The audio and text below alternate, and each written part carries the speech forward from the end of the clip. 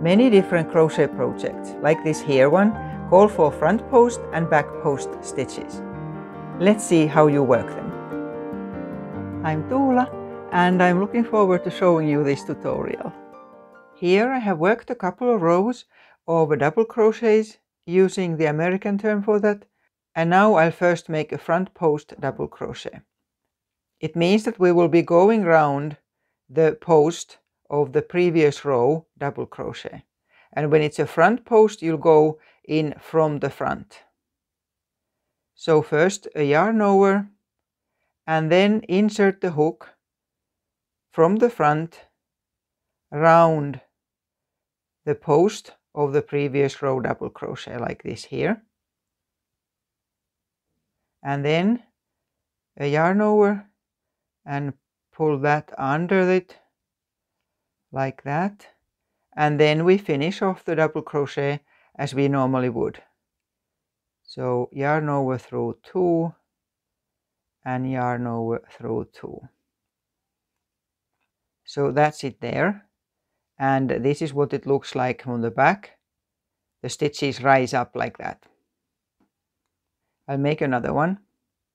Yarn over insert the hook from the front round the post, yarn over, pull the yarn, and then finish off the double crochet.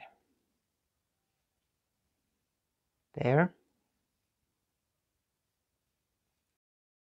And next, let's make a back post double crochet.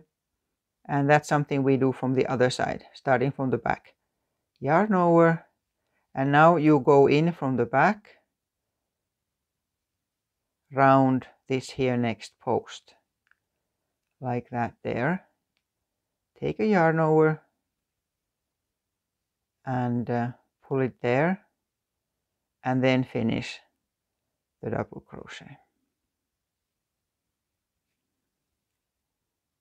And in here now the other stitch is rising on this side another one.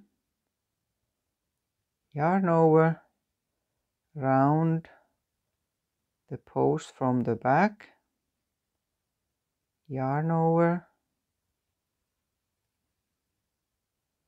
And then finishing off the stitch. There we are. Front posts and back posts and there are lots of different stitches and stitch combinations you can make with these. And I have linked a number of projects on my channel in the description.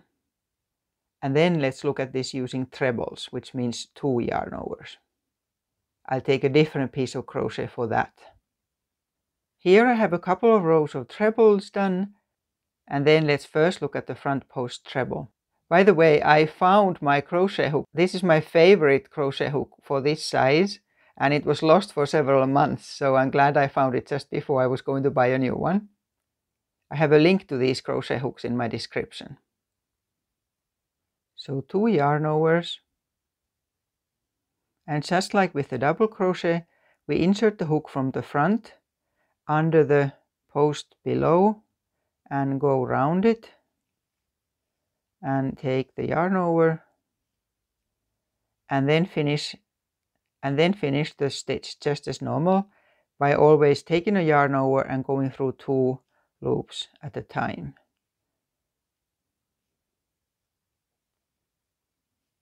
There. Another one, two yarn overs, round from the front and finishing off the treble.